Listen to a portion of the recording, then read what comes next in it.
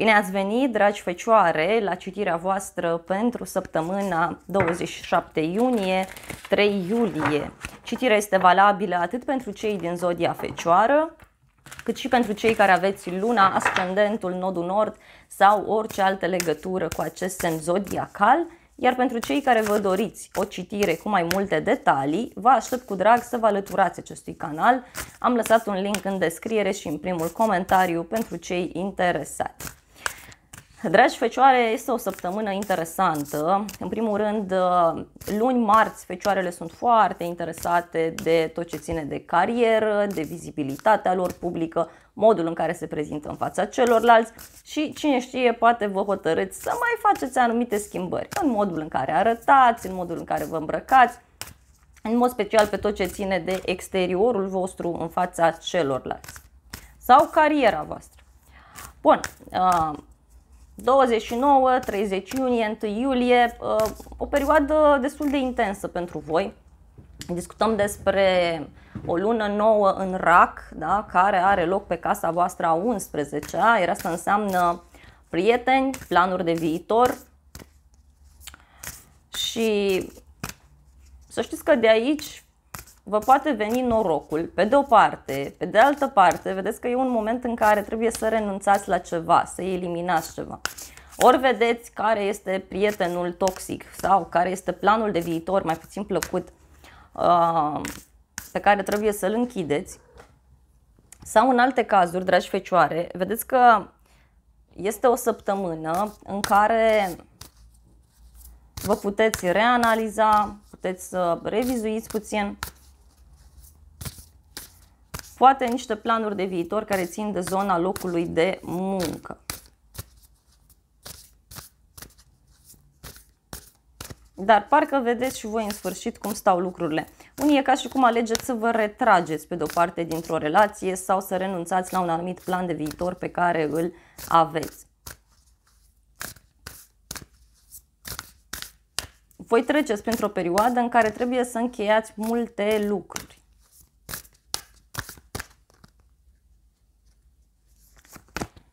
Mesajul pentru fecioară este să vă relaxați. Da, posibil să fiți puțin chinuiți aici de tot felul de gânduri. Cum o să fie în viitor, dacă încheie asta, dacă elimin cealaltă și poate e bine să vă relaxați, să vă detașați puțin, mai ales pe această lună nouă în rac.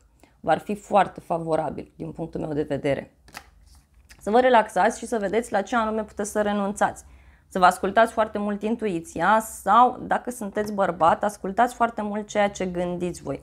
Pentru că sunteți foarte ajutați, iar dacă sunteți femeie, vedeți că printr-un bărbat ați putea să ajungeți uh, la, nu știu, ideea aceasta de a vă schimba planurile de viitor în așa fel încât să vă depășiți o teamă profundă pe care voi o aveți. Să vedem, dragi fecioare.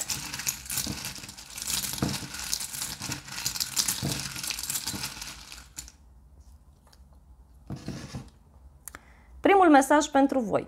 O veste de final definitiv, luna noiembrie, deci numărul 11, foarte puternic pentru voi, și unii puteți avea legătură cu zodia scorpion sau cu zodia săgetător. Apoi, blond, blondă, inițiala B pentru voi, foarte puternică, aflați de un final care ține de o persoană mai șatenă sau o persoană blondă. Ultimul mesaj pentru fecioară este elementul apă și aici puteți avea legătură cu zodia rac, scorpion sau pești. Și mesajul este realizarea dorințelor. Poate este o dorință care ține de o asociere, de un parteneriat, de o negociere pe care o puteți face și acum este momentul vostru. Bun, în continuare vreau să văd relația dintre tine și o anumită persoană sau relația dintre tine și ceilalți la modul general vorbind. Hai să vedem, dragi fecioare, ce se întâmplă.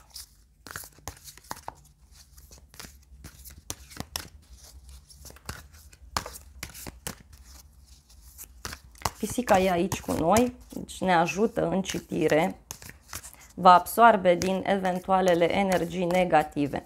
Picioarele parcă trebuie să se relaxeze puțin pentru că acum au un mare noroc pe cariera lor, au un noroc de un prieten, de cineva anume, iar șeful sau un bărbat ar putea să vă ajute foarte mult în toată această situație.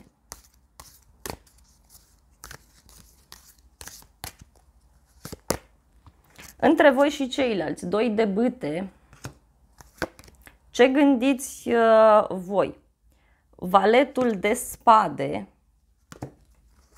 ce simțiți voi? Eremitul,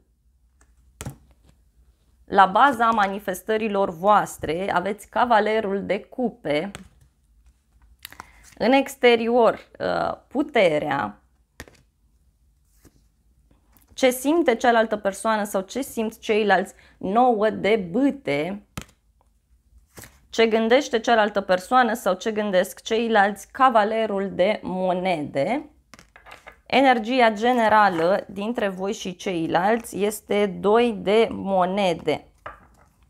Dragi fecioare, aici e clar, ceva tot s-a amânat. E vorba de un nou început profund transformator pentru voi, care s-a amânat sau care presupune o așteptare mai mare.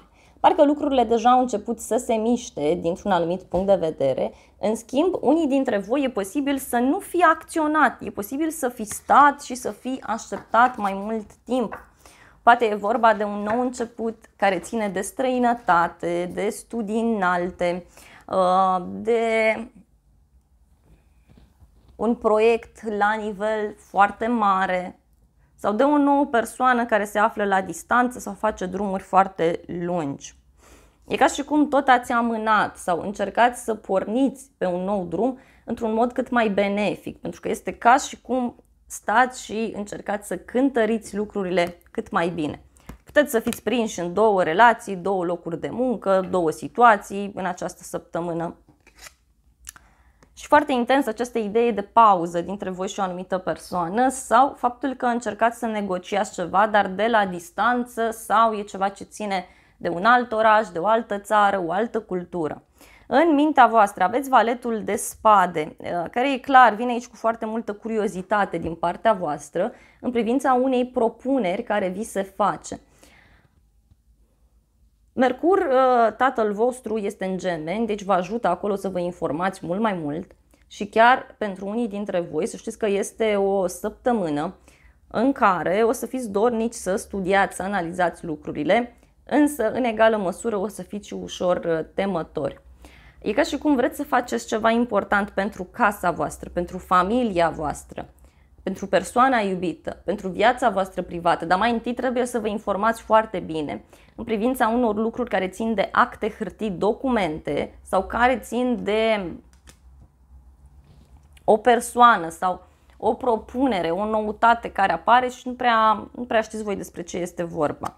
În inima voastră aveți eremitul, care este cartea voastră în tarot, deci fecioarele se impun foarte mult în familie. Uh, e ca și cum stați și analizați în detaliu o situație personală, o relație. Ceva se maturizează pentru voi. În sfârșit se clarifică sfera aceasta personală. Poate unii aveți legătură cu o persoană mai în vârstă sau cu o persoană înțeleaptă, cineva care are o experiență practică pe un anumit domeniu.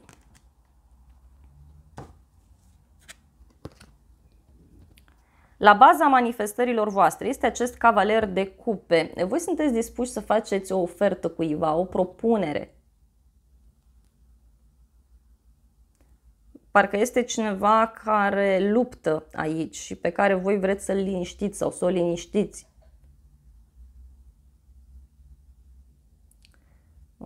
De asemenea, unii e ca și cum vă doriți o relație sau uh, și faceți o propunere sau faceți un drum în această săptămână către o persoană dragă sufletului vostru sau faceți un drum către o instituție care ține de zona medicală, vindecare, creativitate, trecut sau către un loc drag vouă. Vă vine o persoană dragă în vizită, iarăși. Apoi puterea în exteriorul vostru care vine cu o luptă de orgolii între două persoane sau în alte cazuri poate fi o săptămână în care Cineva are un chef fantastic de a se impune, de a spune lucrurilor pe nume.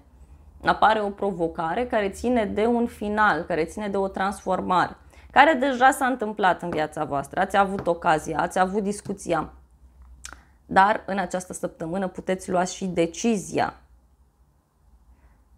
Văd pe cineva care își dorește foarte mult să atingă un anumit scop.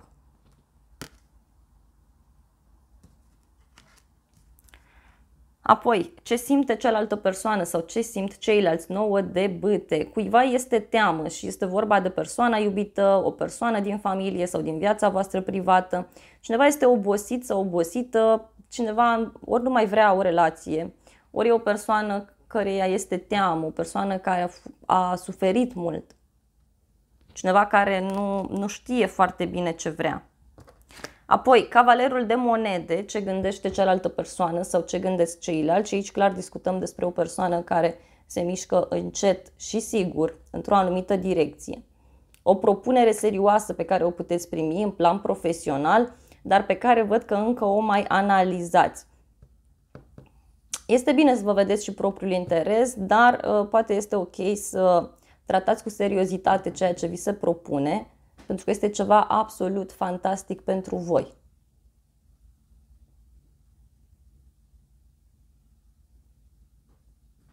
Văd o, văd o persoană foarte sigură pe ea, pe care vă puteți baza. Cineva care își dorește o siguranță de la voi. Sau e vorba de un proiect stabil, de o nouă persoană care apare la locul de muncă, de o negociere din acest punct de vedere.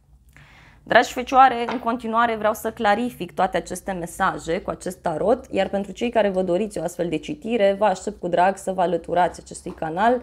Această calitate de membru vă asigură acces la toate citirile bonus pentru toate semnele zodiacale, pentru citirile care apar în fiecare săptămână, în fiecare lună, aveți acces și pentru citirile din acest an 2022 și pentru toate citirile care mai apar acolo.